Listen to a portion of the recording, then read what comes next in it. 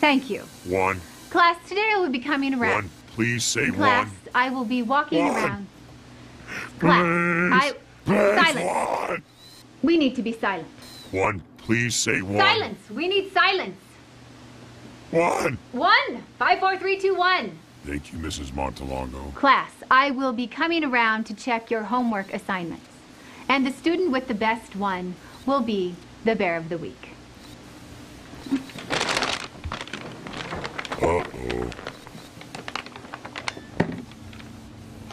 We're BFFs forever. That means best friends forever, forever. I know, that's how much he means to me. Where's your picture of me? You don't love me as much as I love you.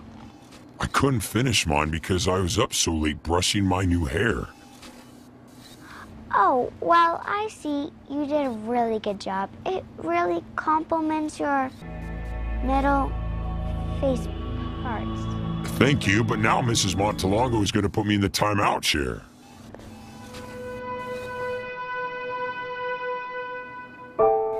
Uh, all right, let me have my back.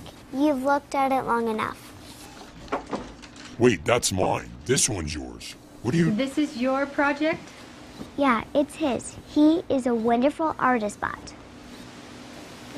You are your own best friend? Yes, I love... me. Emily, where is yours? Mrs. Montalongo, you are such an inspiring woman. I wanted my painting to be inspired by you. So if you will just look right over that way. There. Yes, imagine you're looking out to sea. Good. Wonderful. Great. Ooh, I know what you need.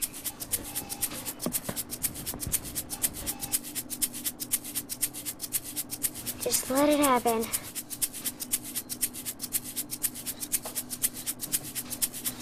Now, are you done? I hope not. Keep that one for your own refrigerator door. By the way, that is my own hair. I'm. No, no, I own it.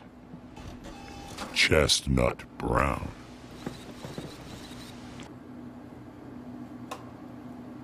Did you just wink at me? Not at all.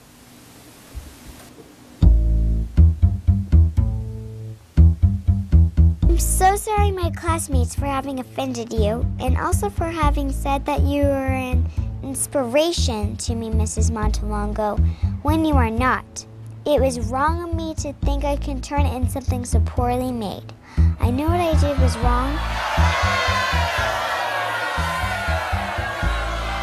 Had a chance to do it again, I wouldn't change a thing.